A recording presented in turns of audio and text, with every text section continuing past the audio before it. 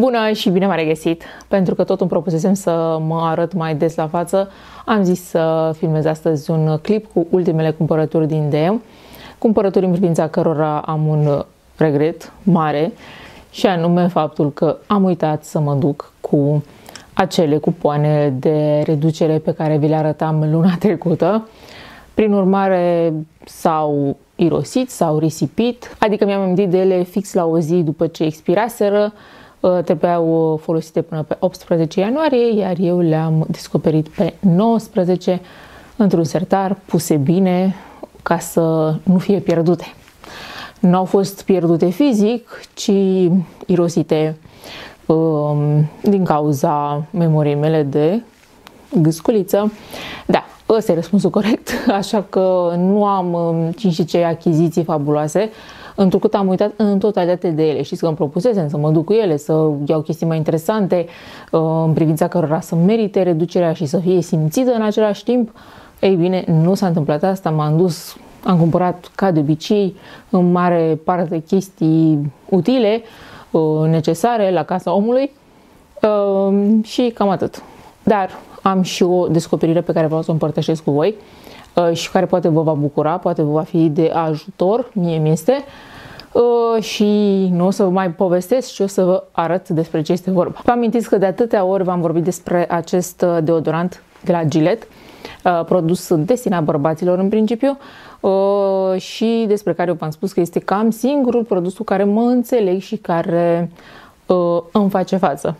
Ei bine, l-am recumpărat și pe el, căci îmi place și îl folosesc în continuare dar vreau să vă arăt uh, cea mai recentă descoperire în materie de deodorante ultra mega rezistente uh, și o să vă demonstrez asta prin faptul că mi-am cumpărat chiar două, două dată pentru că de când am descoperit aceste produse am uh, rămas surprins să plăcut și am continuat să le recumpăr. Zic asta pentru că cred că deja de prin noiembrie parcă le-am descoperit. Cred că imediat ce au fost lansate sau poate că au fost și până acum disponibile, dar efectiv eu le-am ignorat.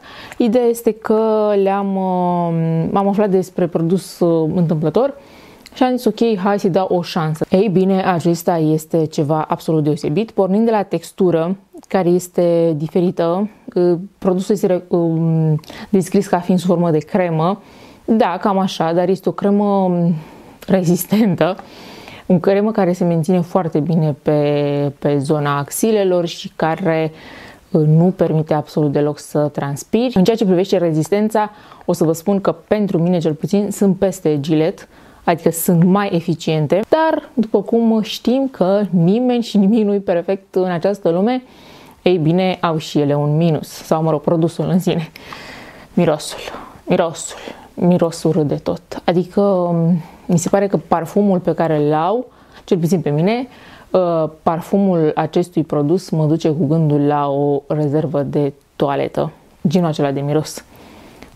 Urât, puternic și neplăcut în același timp, motiv pentru care am uh, un motiv de îngrijorare și anume va veni vara. Nu voi mai avea straturi care să mă acopere și care să acopere acest uh, parfum și nu știu dacă îl voi putea suporta pe timpul verii. La modul cel mai serios o spun, nu îl, uh, nu-l agrez deloc, este, este, este oribil. Atunci când uh, stau, spre exemplu, prin casă și nu sunt la fel de îmbrăcată ca atunci când ies, îmi, uh, nu mi este deloc bine, adică efectiv miroase urât pentru mine, Uh, nu este un parfum nici de cum de damă, dar nici bărbătesc, este un parfum urât și atât. Așadar, dacă ar fi rezolvat această problemă în ceea ce privește mirosul acestui produs, uh, aș putea spune că el ar fi chiar produsul ideal. Uh, altfel, v-am spus, eficient, nu l-am testat 96 de ore, cum îl recomandă ei, dar undeva la 12 ore a demonstrat că este acolo, alături de mine. Un produs pe care l-am luat absolut în mod inutil și fără să fiu sigură că știu ce fac cu el sau dacă voi vrea efectiv să-l folosesc, dar pentru că era ultimul și pentru că am înțeles și că ar fi ceva în ediție limitată, evident că este ceva pierdut printre rafturi de prin vară, uh, pentru că vorbim despre acest Vintage Beach de la Essence, este vorba despre un mist cu sare de mare, care în principiu ar trebui să mă ajute uh, sau să ajute persoana care îl folosește să obțină acele bucle de plajă, acel păr uh, de mare, uh, de după ce intri în mare. Nu l-am folosit încă, așa cum am spus, nici nu, nici nu sunt foarte sigură că îmi doresc să-l folosesc, și asta pentru că în principiu nu am foarte mare încredere în el. Dar pur și simplu nu m-am putut abține. Adică era singur pe un raft și am zis N-are sens să stai aici singur, hai acasă că am eu uh, sertare în care să te alături unor uh, frați de categorie. Am luat uh, tot așa, cred că și ăsta a fost rătăcit, acest gel de duș peeling de la Balea cu aromă de pepene roșu, despre care și știm că este ediție limitată. E clar că cineva l-a uitat prin depozit și l-a adus pe raft și eu l-am luat, dar îmi place atât de mult acest produs încât nici nu mi-a păsat că este expirat și am uh, recumpărat și acest uh, produs pentru pensule de la Ebelin care și-a schimbat ambalajul. Vă mai informasem eu și într-un uh, clip anterior acest lucru înscris, acum vă spun și uh, verbal faptul că și-a schimbat ambalajul, mi se pare mai drăguț, mai profi acest ambalaj. Sper să fie la fel de eficient, însă um, eficientă să fie soluția din interior că e mai important. Dacă vă amintiți și dacă mă urmăriți de mai multă vreme, știți că eu aveam un obicei în anul timpul meu preferat, adică toamna, și anume să-mi cumpăr un gel de duș cu miere și cu lapte. N-am făcut-o toamna trecută pentru că am fost, um, m-am comportat atipic și mi-am continuat uh, băile cu geluri de duș cu miros de vară. Nu știu de ce. Așa că am zis că totuși e momentul să îmi respect propriile uh, decizii, mofturi, habar n-am ce să stea și mi-am luat totuși unul uh, acum uh, pentru că încă mi se pare că se potrivește mirosul acestui gel de duș. De altfel, cred că este în top 3 geluri de duș, arome preferate, de fapt, ale gelurilor de duș de la Balea. Un alt produs de la Balea care îmi place tare mult și pe care îl uh, recumpăr de fiecare dată când îmi sare în ochi, că de fapt despre asta e vorba, este acest uh, săpun lichid uh, antibacterian, așa este descris. Îmi place foarte mult, îmi place cum uh, curăță, îmi place cum îmi simt uh, mâinile după ce îl folosesc, îmi place că nu are parfum sau urmare un miros așa total neutru, uh, ceea ce pe mine mă încântă. Uh, îmi place tot, îmi place și prețul pe care îl are, nu știu, cred că este 7 lei. Iar pe lângă asta, evident că faptul că scrie că este antibacterian, uh, cumva oferă un uh, sentiment de liniște. Pe de altă parte, îmi imaginez că cam toate săpunurile au acest rol, nu? Am recumpărat și uh, aceste disete demachiante preferate, minunate de la Ebelin, pe care deja le știți.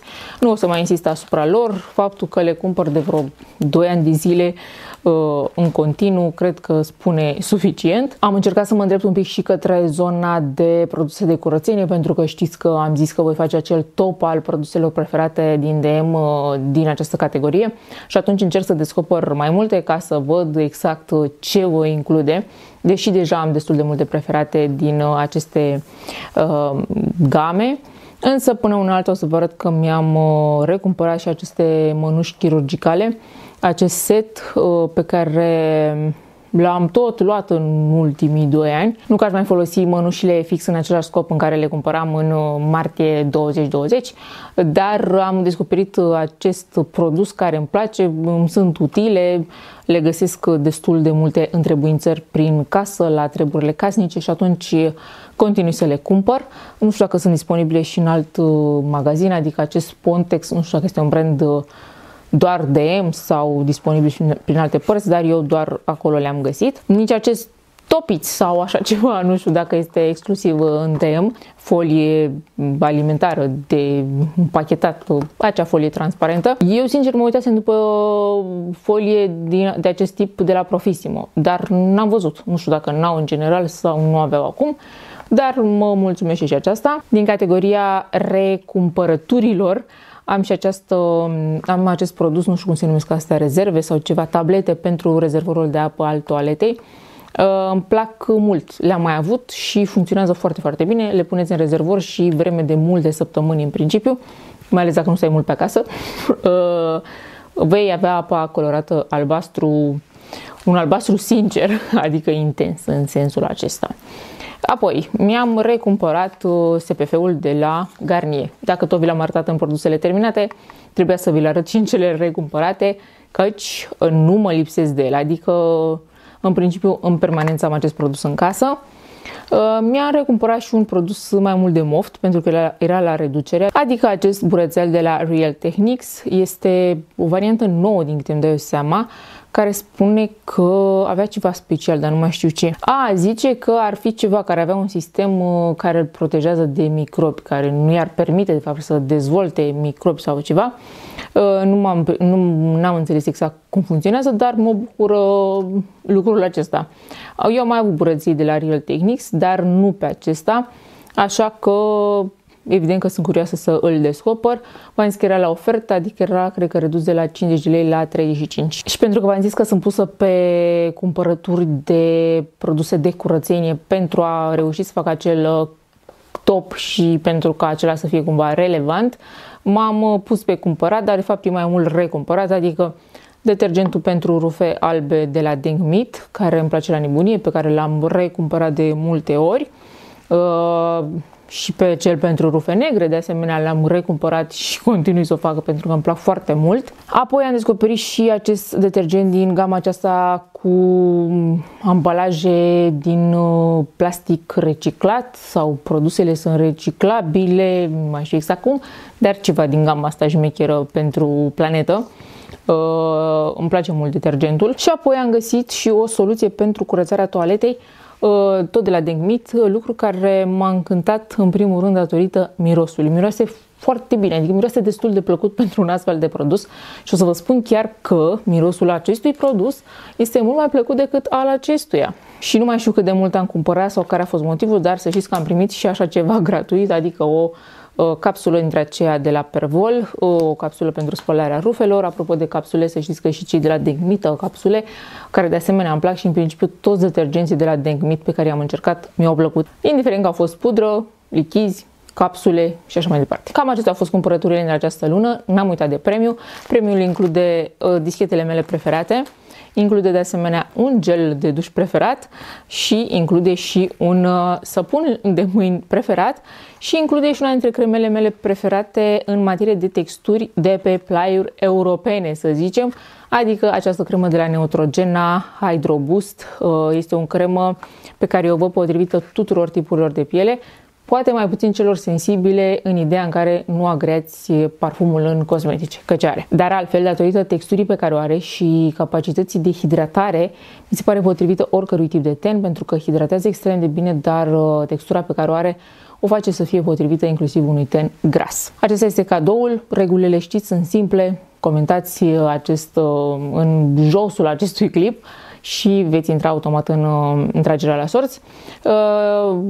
De asemenea, voi face o altă extragere pentru câștigătoarea lunii decembrie, că cea pe care am ales-o inițial nu mi-a răspuns nici până acum la comentariu. Așadar, la momentul alegerii câștigătoarei din această lună, o voi anunța o altă câștigătoare și pentru luna decembrie. Și cam asta e tot pentru astăzi. Vă mulțumesc tare mult pentru că m-ați urmărit. Dacă aveți impresii în ceea ce privește produsele pe care le-am cumpărat de această dată din DM, aștept cu mare interes să mi le împărtășiți uh, și de asemenea să mai spuneți tot ce vreți voi în rubrica de comentarii. Ne revedem cât se poate de curând. Pa, pa!